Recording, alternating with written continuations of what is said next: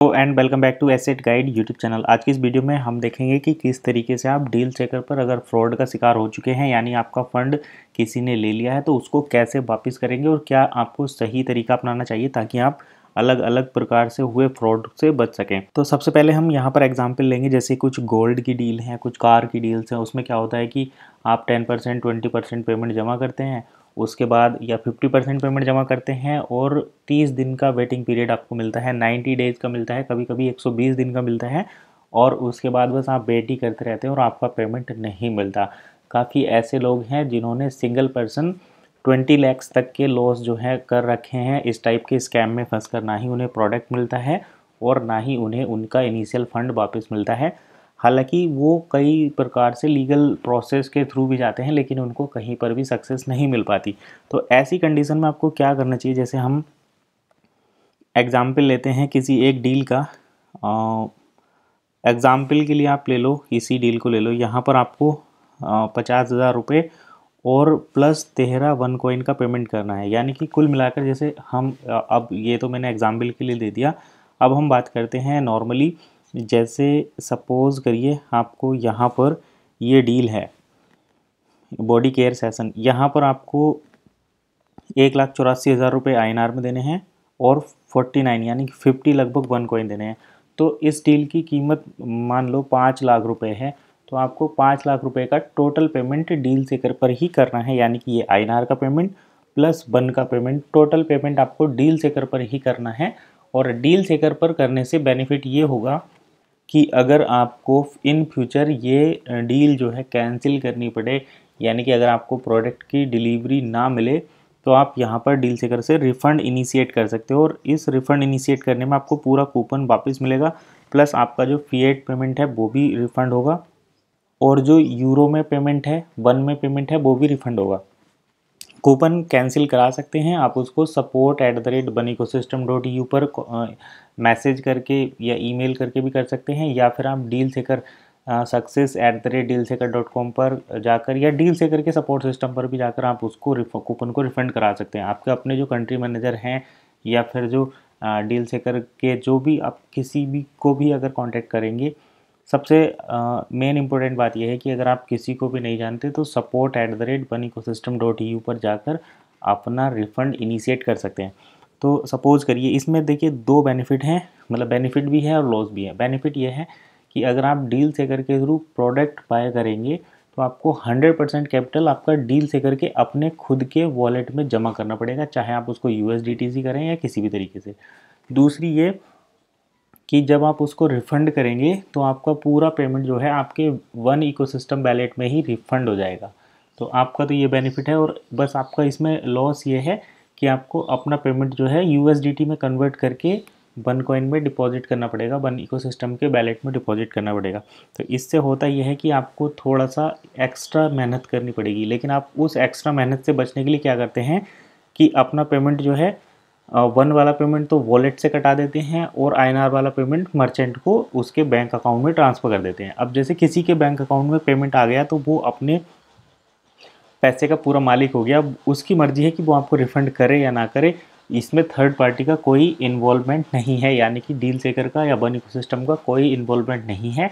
तो डील सेकर आपके INR में किए गए पेमेंट को वापस नहीं करा सकती, लेकिन अगर आप पेमेंट डील अगर प्लेटफॉर्म पर करते हैं वन इको सिस्टम प्लेटफॉर्म पर करते हैं तो उस पेमेंट को आप रिफ़ंड करा सकते हैं, उसका रिफ़ंड इनिशिएशन कर सकते हैं और वो पेमेंट आपको पूरा वापस मिलेगा।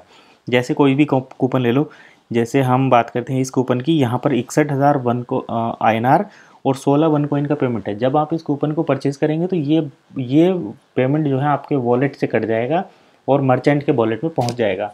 अगर आपके निर्धारित समय के अंदर ये डील प्रोसेस नहीं होती है तो आपका इकसठ हज़ार छः सौ रुपया प्लस सोलह point five at one coin ये रिफ़ंड आपके वन इकोसिस्टम वैलेट में आ जाएगा। तो इसके लिए करना क्या है? करना यह है कि आपको यूएसडीटी से ट्रांसफ़र करना है फ़ंड ऐड करना है, फिर प्रोसेस करना है। और यदि आप यूएसडीटी में पेमेंट वन इकोसिस्टम में ऐड करना नहीं जानते हैं या आईएनआर में पेमेंट ऐड करना नहीं जानते हैं तो आप हमें कांटेक्ट कर सकते हैं। हम उसी यूरो वाले पेमेंट को आपके वॉलेट में ऐड करा देंगे। आप आईएनआर में पेमेंट वाला सिस्टम वो कर सकते हैं। लेकिन अगर आप 100 परसेंट सेल्फ तरीके से करेंगे, यानी कि अपने आप ही वन वन कोइन वॉलेट में पेमेंट ऐड करेंगे या सपोर्ट पर बात करके करेंगे तो ज़्यादा सही रहेगा। किसी की भी एक्स्ट्रा हेल्प लिए बिना, जब तक आप खुद से O E S one ecosystem wallet में पेमेंट ऐड करना नहीं सीख जाते, तब तक आपको डील से घर पर किसी भी प्रकार की डील से बचना चाहिए, जो आपको ये कहते हैं कि आप 50 परसेंट हमारे बैंक अकाउंट में दे दो या 30 परसेंट हमारे बैंक अकाउंट में दे दो और बाकी आप हमें वन में पेमेंट कर दो। तो ऐसी डील से आपको बचना चाहिए। इसमें आपको ज़्यादातर 99 परसेंट लॉस के चांसेस हैं, क्योंकि अभी वन का उनको कन्वर्जन नहीं मिल रहा है। अब बात करते हैं मर्चेंट की। तो देखिए, जो मर्चेंट है, वन में पेमेंट ले रहे हैं और प्लस फिफ्टी परसेंट फीएट में पेमेंट ले रहे हैं तो वो भी ये ट्राई करें कि पेमेंट वन कॉइन वॉलेट के थ्रू ही एक्सेप्ट किया जाए। आप अपने वॉलेट को डील से कर कैश पूल में या वन इकोसिस्टम के कैश सेफ़ में रखकर उसको इंक्रीज़ कर सकते हैं। दो परसेंट का शायद वहाँ पर इंटरेस्ट भी मिलता है मंथली तो इस तरीके से आप यूज़ कर सकते हैं। साथ ही साथ आप क्या करेंगे कि जैसे डील सेकर पर आपने पेमेंट एक्सेप्ट किया वो फेट में और यूरो में हो गया तो आपका जो वन का पेमेंट है, उसको आप डील सेकर पूल के थ्रू सेंड कर सकते हैं ट्वेल्व मंथ में यूएसडीटी में अनलॉक करने के लिए। साथ ही साथ आपका जो आई पेमेंट है, उसको आप या तो डील सेकर कैश सेफ़ में one ecosystem cash safe में ब्याज पर लगा सकते हैं इंक्रीज़ करने के लिए इंटरेस्ट पर लगा सकते हैं, या फिर आप उसको 500 यूरो होने पर विड्रॉल कर सकते हैं अपने यूएसडीटी वॉलेट में, और वहाँ से आप जैसे आप बाइनेंस एक्सचेंज या किसी भी एक्सचेंज का यूज़ करके उसको अपने बैंक अकाउंट में विड्रॉल कर सकते हैं। यहाँ पर आपको प्रॉपर रजिस्टर्ड बिज़नेस के साथ ही काम करना है। अदरवाइज़ आपको यहाँ पर क्रिप्टो टैक्स वगैरह का झंझट हो सकता है। साथ ही आपकी बिज़नेस इनकम या अदर सोर्स इनकम पर भी तीस परसेंट का टैक्स बनता है। तो वो आप देखिए, उसी से, उसी के अकॉर्डिंग आप अपने प्रोडक्ट को, अपने बिज़नेस को मैनेज करिए ताकि आपको भी लॉस ना हो और जो बायर्स हैं उनको भी लॉस ना हो। ये एक सही तरीका रहेगा सिस्टम पर काम करने का। अब होता क्या है कि जब आप आईएनआर में पेमेंट लेते हो तो डील सेकर पर भी कन्वर्जन नहीं होता। डील सेकर पर बिज़नेस का, की मॉनिटरिंग नहीं होती। और जब आप आई कस्टमर जो आईएनआर में पेमेंट कर देते हैं, उसका डील सेकर के पास कोई रिकॉर्ड नहीं रहता तो आपका कूपन जो है, वो रिफ़ंड भी नहीं हो सकता।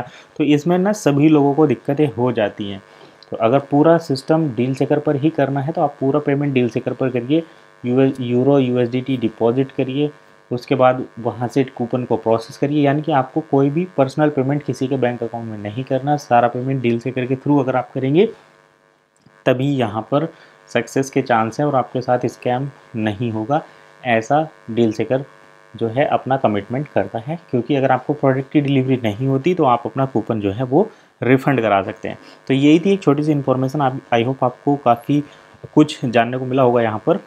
और इस तरीके से अगर आप करेंगे तो अपना स्कैम का शिकार होने से आप बच जाएँगे। तो आज की इस वीडियो में बस इतना ही। मिलता है नेक्स्ट वीडियो